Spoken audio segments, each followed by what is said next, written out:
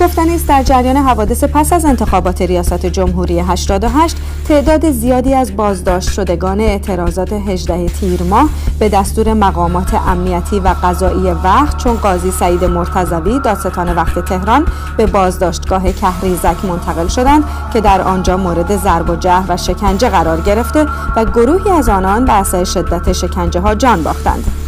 مقامات زیربط به ویژه دادستان وقت تهران منانجیت و بیماری را عامل فوت آنان اعلام کردند که این نظر قویا توسط پزشکی قانونی کشور رد شد.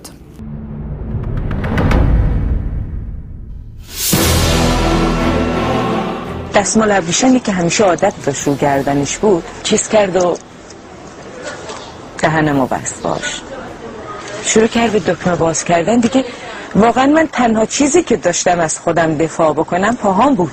می‌دونستم دشمنمه و دشمنم داره این کار رو با من کرده تنمو لمس کرده. زدنشو کابل زدنشو خیلی راحت تر هضم کردم. چون که احساس کردم احساس می‌کنم اون دردی که اون کابل به میده بعد از مدتی فراموش کردم. یعنی من هیچ وقت اصلا الان دیگه یادم نمیمونه درد اون کابل. چقدر بوده؟ ولی درد تجاوزی که بهم شده درد این دستای کثیفش که بدنمو لمس کرده.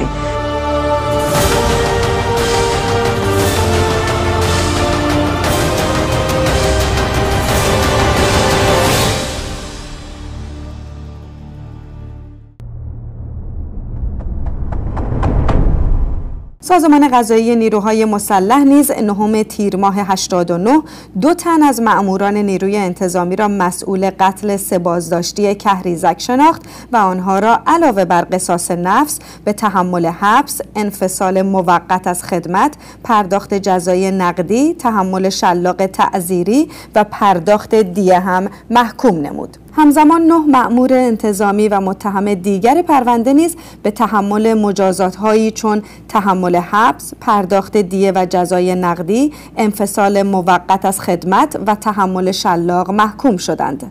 اما بلافاصله پس از اعلام این خبر عضو کمیته ویژه مجلس در پیگیری حوادث پس از انتخابات اعلام اسامی متهمان و محکومان پرونده کهریزک را در مقطع فعلی خلاف قانون دانست. باور قطعی من الان این هست که بعضی اتفاقات ناشایستی که افتاد در کوی دانشگاه در یک بازداشتگاه اینها حلقه های سناریوی آشوب بود.